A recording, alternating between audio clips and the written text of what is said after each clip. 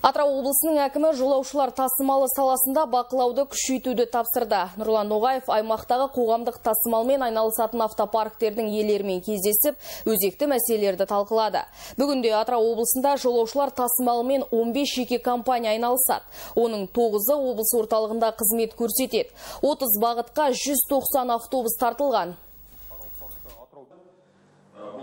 үстіміздегі жылы қазақстан республикасы инвестиция және даму министрлігімен қазақстан республикасына автобустық тасымалдауды дамыту бойынша кешендік жоспар бекітіліп кешендік шара аясында атырау әлеуметтік кәсіпкерлік корпорациясы ұлттық компаниясы акционерлік қоғамы жанынан атырау автопарк мекемесі құрылғандығы белгілі.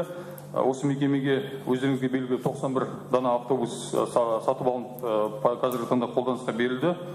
Олар 2, 4, 8, 12, 14, 30, 30 маршруттарда халыққа қызмет көрсетіп отыр.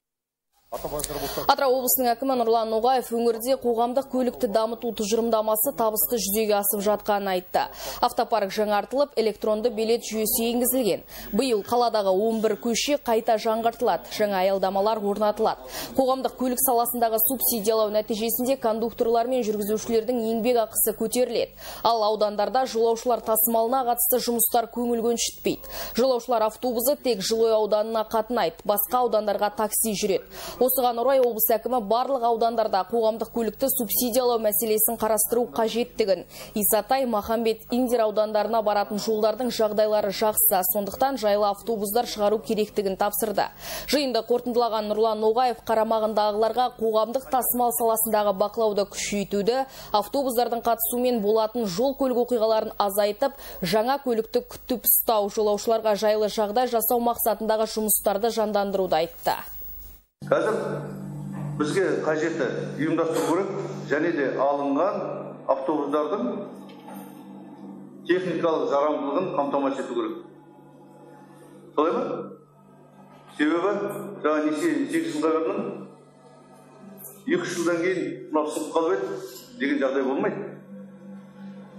Сондықтан мен айтып отырмын техникалық бақылау азаматтардың жүргізушілердің денсаулығын сақтау қарау жөніндегі қадағалау мәселесі.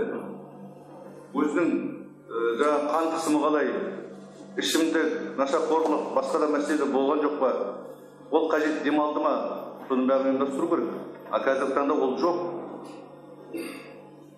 Мен айтайын қазір біз тоқсан бір автобус сатып алдық.